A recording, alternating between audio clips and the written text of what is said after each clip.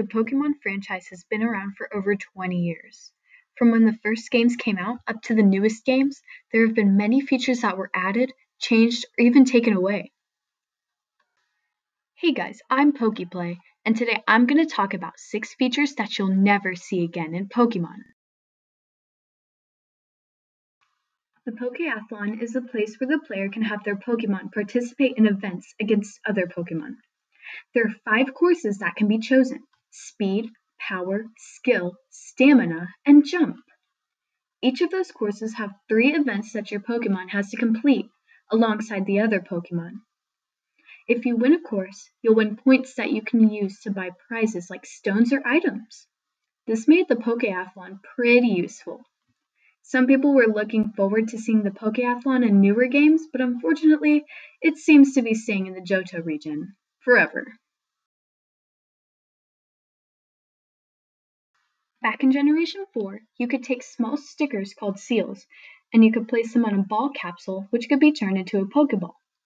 Then when you sent out your Pokemon, instead of just a flash of light coming out of the Pokeball, you could have different animations depending on which seal you used. It was pretty cool and made your Pokemon feel a little more unique. Lots of people were sad to see this feature not come back in the later games. Running shoes were first introduced in Generation 3 and last showed up in Generation 6. They were kind of annoying because when you first started your adventure, you had to wait until a certain point of the game in order to get these shoes. It made the game feel super slow until you finally obtained them. Luckily, as of Generation 7, running shoes were taken away, and now you can run right away when you start the game.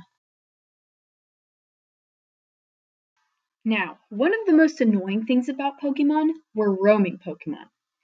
The only way to encounter one of these guys was to be at the same route as the roaming Pokemon, walk in the grass, and hope that you get that cool music that means you found your target.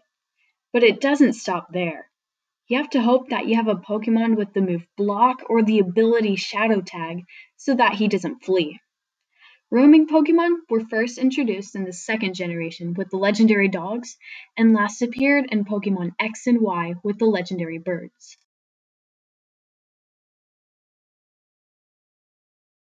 In Pokemon Heart Gold and Soul Silver, they reintroduced a fantastic feature of having a Pokemon follow you. It made the game feel way more alive, and it was a great way to show off any shinies you had. It was originally introduced in Pokemon Yellow, with your starter Pikachu trailing behind you instead of staying in its Pokeball. Since so many people liked it so much, they were looking forward to newer games to have the brand new Pokemon follow you. But it still hasn't shown up yet. You could see that Pokemon Let's Go Pikachu and Eevee reintroduced this feature, but it's limited to your starter and they don't really follow you like how Pokemon would in Gen 4.